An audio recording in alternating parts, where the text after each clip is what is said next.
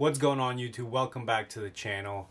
Uh, today I am recording this last minute. I didn't have a video to post for tomorrow, but I've been meaning to make this video uh, for a while now, so I thought I'd just quickly make make it right now.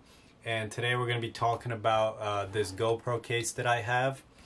Uh, this is a metal GoPro case.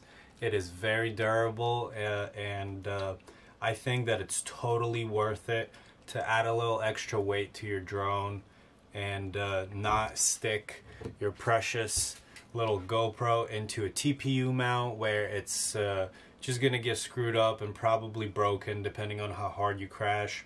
But let me tell you, with these cases, uh, I have two of them here, and uh, I've crashed this one quite a few times on this drone, and it's uh, a little scuffed up here and stuff, but the GoPro has always walked away from the crash with no problem.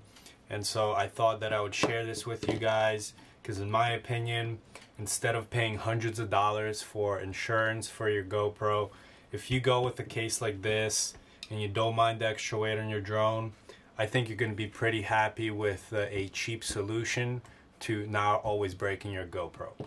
Now, obviously, this is not a guarantee. You could still break your GoPro while using this case, but this is going to be way better than any of your TPU mounts.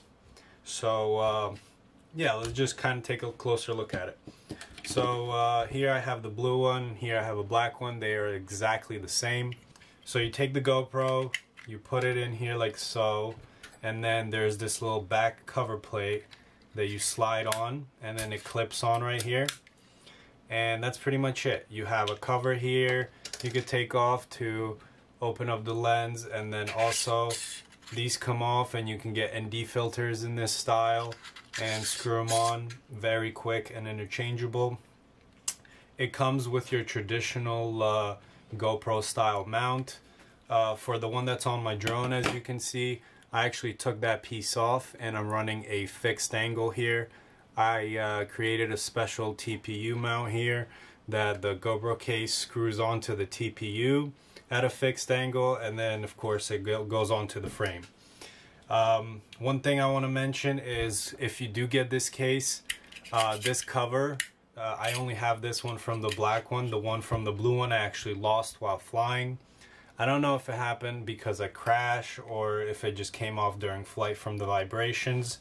Uh, but what I did was I created this little print here.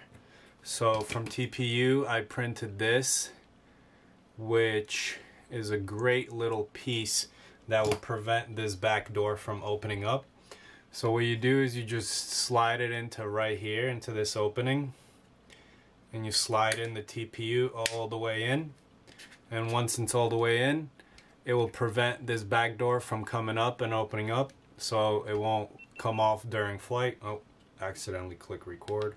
It won't come off during flight and uh, you won't lose your GoPro, which is definitely what you want. So yeah, I believe this is the best cheap solution to protect your GoPro if you don't mind adding some extra weight. Um, they are going to be a little heavy, the fully metal, uh, but I definitely think it's worth it. Uh, you can try to fly it with the um, traditional GoPro mount style where you can change the angle but I notice that when I fly around, because the case is heavier itself, it does tend to move a little bit and it's very hard to get a fixed angle in there and keep it there. That's why I decided to remove that and just use a TPU print like this and mount it in the fixed angle so it doesn't have the ability to um, to move. So that's pretty much it. I want to keep this quick, uh, short little video.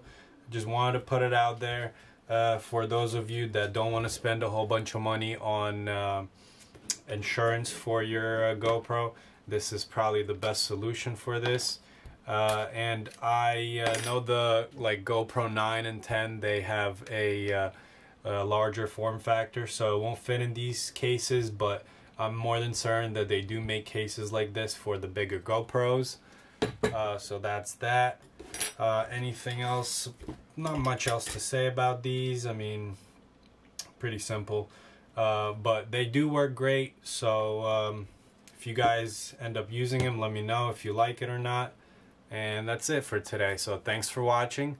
Please throw me a like, subscribe, and I'll see you guys in the next video.